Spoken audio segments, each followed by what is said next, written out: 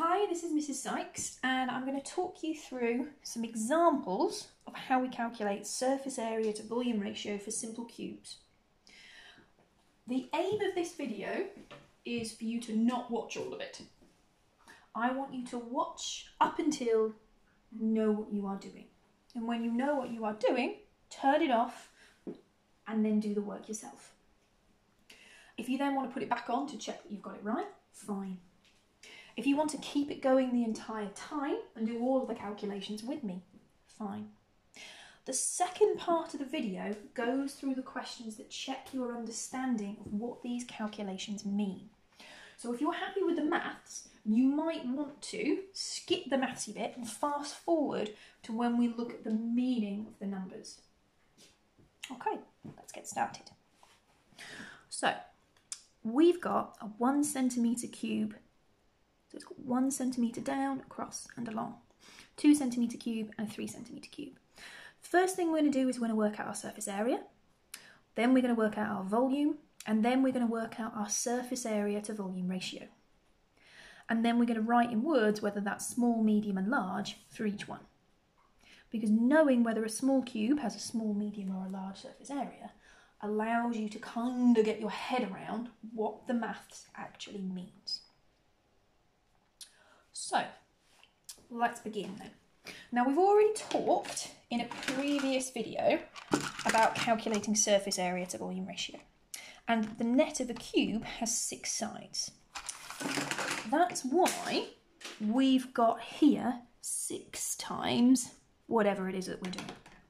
So you work out the surface area of one of these cubes here, one little side there, and then you times it by six because there will be six of them on the cube. So this one here is one centimetre by one centimetre and there are six of them. So one by one by one times six. Now I'm going to write mine out using brackets, but I'm going to use my calculator without them because those of you who are confident using brackets won't need me to show you those sections. So one by one gives us one times six giving us 6. So the surface area for this cube is 6. Now I'm going to do the whole of the calculation for 1 centimetre and then I'll do 2 and 3 each stage at a time so you can really see the pattern. So we've got 6 and now we need a unit. It's centimetres squared. And it's centimetres squared because we've got two dimensions here, that one and that one that one doesn't really count. Okay, so we're squared. The volume is that side times that side times that side. So in this case, we've got 1 times 1 times 1. Again, using my calculator. 1 by 1 by 1, which will give us 1. But because we've had three things that we've times together this time, we now have centimetres cubed. So there's a little 3 which floats over the n. Surface area to volume ratio is our surface area number divided by our volume number. So we have got 6 divided by 1. 6 divided by 1. Now some of you won't need to do that on a calculator because that number will just make sense in your head and that's fine. So we've got 6 but this is surface area to volume ratio so that means that if you've written 6 in that box, you have got it wrong because it has to be a ratio. So you need to add 2, 1 next to it. 6 to 1. We're going to come back to this when we've got all of the numbers alongside each other.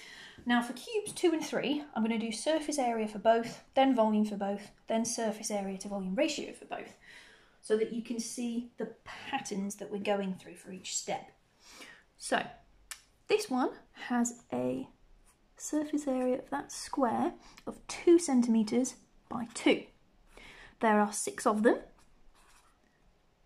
So we do, on our calculator, two by two equals, so we're getting four, times six, so that we've got all six sides, which will give us 24. And we are centimetres squared because we are still in two dimensions. I'm now going to do this one. So we've got 3 by 3 square. And we've got six of them.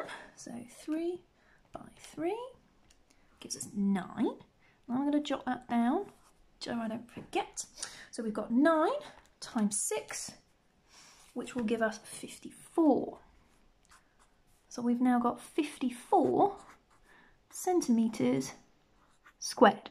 So we did 9 times 6, if anybody wanted to remember that.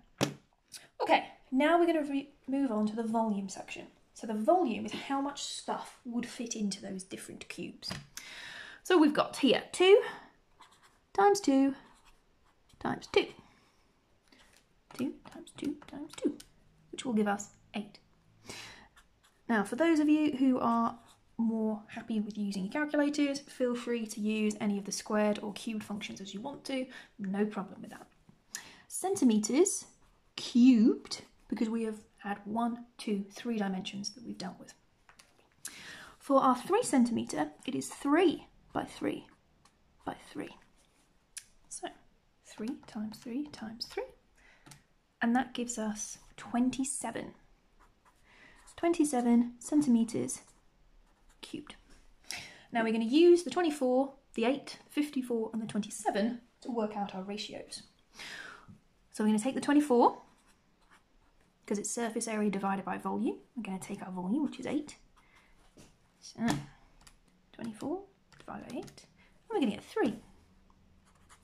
And that becomes 3 to 1 because we're still wanting to calculate a ratio. And over here, we have got 54 divided by 27.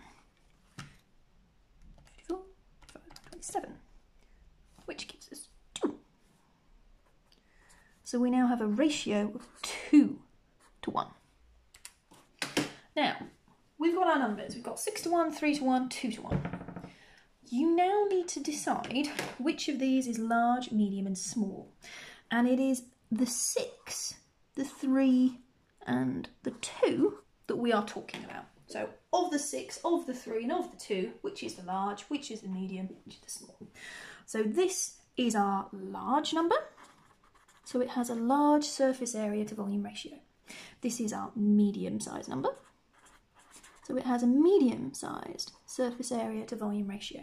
And in comparison to the others, this one has a small surface area to volume ratio. And that's the first part of what I've set you to do. Now what we need to do though is make sense of why this even vaguely matters in terms of biology. So, these are the questions that I have set you, which are very straightforward to check that you know what's going on.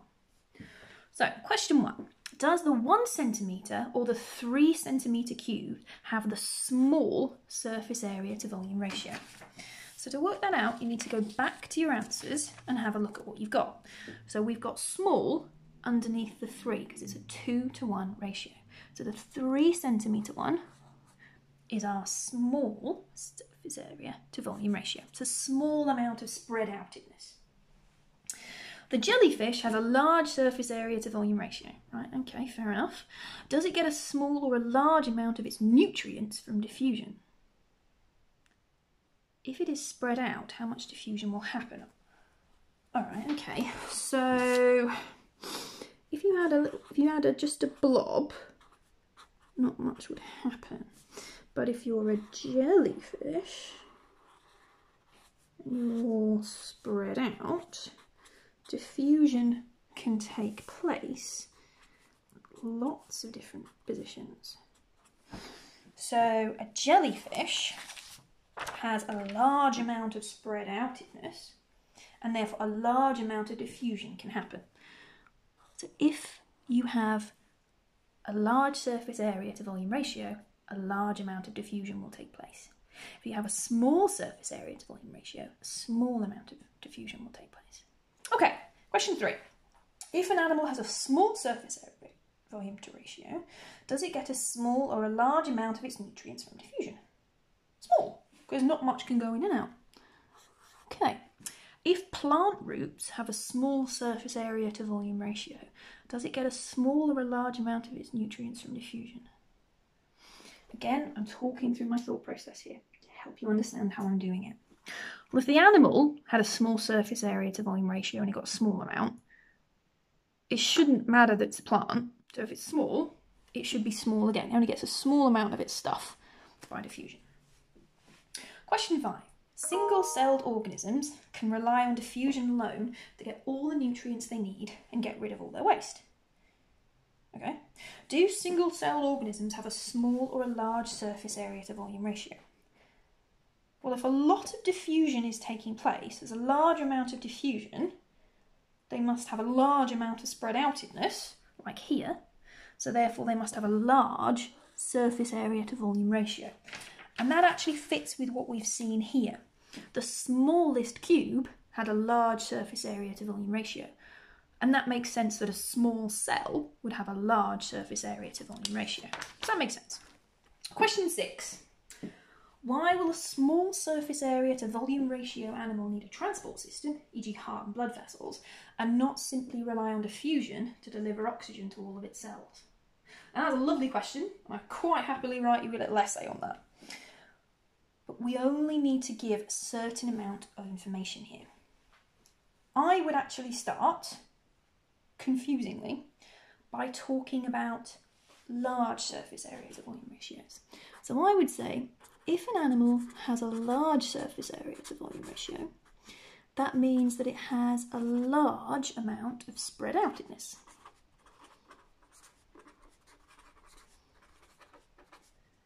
Which means that it has a large rate of diffusion. So if it has a large amount of diffusion, because it's largely spread out, it doesn't need a transport system. So again, returning to our obvious example of the jellyfish, doesn't have a transport system because it doesn't need one because it's so spread out. Diffusion is good enough. But if you have an animal that's got a small surface area to volume ratio, which is what the question was focusing on, then things are a little bit different. It has a small amount of spread outedness, so it's basically a big blob. And if it's a big blob, there's not much space for diffusion to take place. So therefore we have a small amount of diffusion. Well, this animal needs to be able to spread out its oxygen, its glucose, and its other nutrients somehow. So it spreads out these nutrients by using the heart and the blood vessels. It uses its transport system to spread everything out because its body isn't spread out, but its heart and its blood can spread the oxygen. Its heart and its blood can spread the glucose. So equals transport system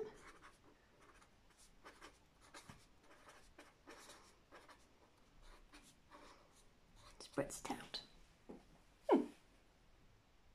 So let's check the question.